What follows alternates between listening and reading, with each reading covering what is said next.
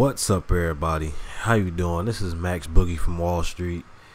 And let me tell y'all, I really, really just messed up with the rest of these videos. I recorded week 15, 16, and 17 with, with uh, Quincy Blunt and uh, Daniel Taylor. And I ended up deleting all of the games.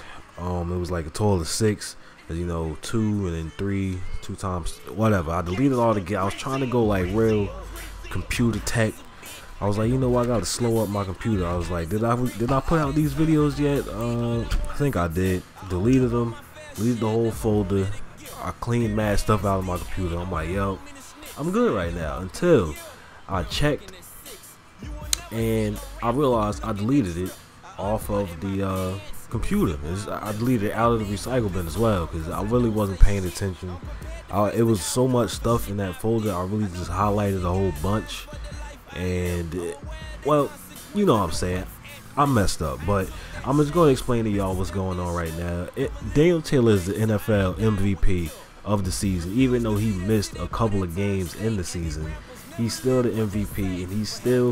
If you did, if you see that the uh, the news page that was in the front it said he was in the legendary status or whatever. I'm gonna show you all the stats at the end of the season, but you saw that uh, Quincy Blunt was defensive player of the year, swagging out, and I'm pretty sure because he was the MVP, Daniel Taylor the third was the offensive rookie of the year. And they're not even rookies to be honest. They already played one year in Madden 25, but you can't really go in like that. You can see Quincy Blunt stats right here, man. One interception on the year. It's really crazy how I can't get interceptions um, one forced fumble as well, you know what I'm saying? But we had over 100 tackles. had 21 sacks. That's close to breaking the record, I think. I think the record's like 22 or something like that. But you can see Daniel Taylor's stats here, man. Averaging over 6 yards a rush. 20 over 20 touchdowns, bro. Averaging a, about 170 a game. Crazy, bro. Amazing season by Daniel Taylor, and he missed a couple games. He broke the season record for rushing yards in a season, and he misses. He missed a couple guys. I, I don't understand it. Man. That junk crazy, but um, you could.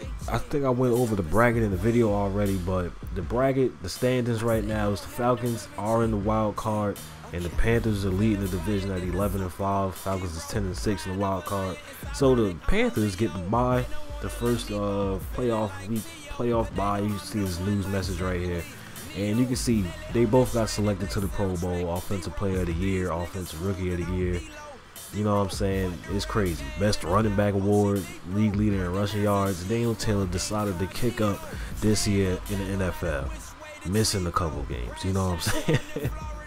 Quincy Blunt did miss a couple games too. He missed like the first two, and I do remember that. But in the playoffs, though, Panthers got the bye week.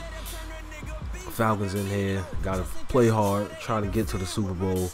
And uh, if they don't, then they know who to blame. It's the offense. You know what I'm saying? Matt Ryan was like 25th. He was like 25th in, in passing, which is nowhere near like it is in real life. But somehow they, they allow this in Madden. I guess it's the offensive line's fault or whatever, but I don't know. Um, oh, that's that's just the update, man. That's it for this video. But um, the video is coming to an end, so always remember, in the street we trust. I'm out. Gangsta grill. Gangsta bastard. Bastard. Bastard.